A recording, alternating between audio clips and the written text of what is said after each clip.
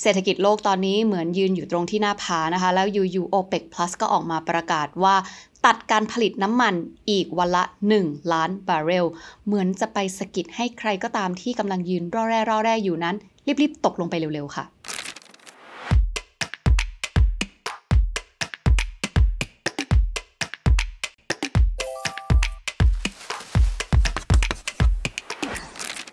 รจะเข้าสู่ recession เศรษฐกิจใครจะพังเงินบ้านใครจะเฟ้อ OPEC Plus ไม่ได้มีหน้าที่มาสนใจนะคะ สิ่งเดียวที่เขาต้องการก็คือดันราคาน้ำมันให้สูงเท่าที่เขาต้องการค่ะ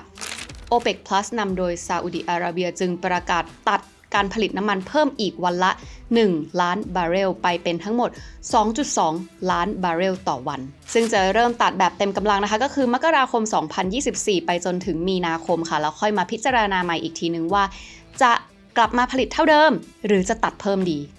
ซึ่งเกมนี้ทำเพื่อเหตุผลง่าย ๆเลยนะคะ ก็คือดึงราคาน้ำมันให้มันสูงขึ้นค่ะ เพราะอย่างซาอุดิอาระเบียเนี่ยเขาจะต้องการเงินส่วนนี้มาเพื่อที่จะกลบงบการเงินที่ขาดดุลไปในไตรมาส 3 นะคะ เขาขาดดุลไปแล้ว 9.3 แสนล้านดอลลาร์สหรัฐ ซึ่ง 40%ของ GDP ซาอุดิอาระเบียนะคะ มาจากการขายน้ำมันค่ะ แล้วถ้าเกิดว่าสามารถจะปรับราคาน้ำมันให้สูงขึ้น และมีคนซื้อด้วยตามที่เขาต้องการนะคะ ก็มีความเป็นไปได้ว่าจะสามารถหารายได้มากลบงบที่ขาดดุลไปส่วนนี้ค่ะ แต่ถ้าไม่ได้ตามคาดนะคะ ซาอุดิอาระเบียก็เหอะ ก็เดินเข้าสู่ recession เหมือนกันเพราะว่าตอนนี้ GDP growth ของซาอุดิอาระเบียนั้น ติดลบ 3.9 ไปเรียบร้อยค่ะ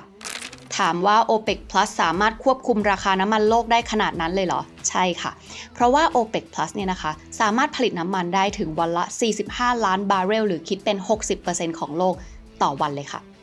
เบอร์ใหญ่ที่สุดของ OPEC Plus นะคะ ก็คือซาอุดิอาระเบียตามมาด้วยรัสเซียค่ะ ซึ่งรัสเซียร่วมมือในการหั่นปริมาณการผลิตน้ำมันครั้งนี้มากที่สุดเลยนะคะถึง5แสนบาร์เรลต่อวัน เหตุผลง่ายๆเลยนะคะ ก็คือปูตินเนี่ยอยากจะดึงราคาน้ำมันให้มันสูงๆเข้าไว้ค่ะ เพื่อให้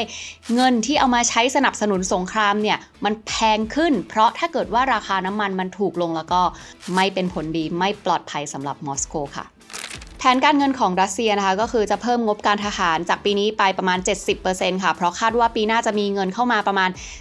391,000 ล้านดอลลาร์สหรัฐ ซึ่งแผนนี้จะสำเร็จได้ก็ต่อเมื่อสามารถดึงราคาน้ำมันให้สูงมากเท่าที่ต้องการแล้วก็มีคนซื้อด้วยค่ะ ก็ต้องมาดูกันนะคะว่า บอมจาก o p e ป Plus ลูกนี้จะกระทบเศรษฐกิจโลกและบ้านเราขนาดไหน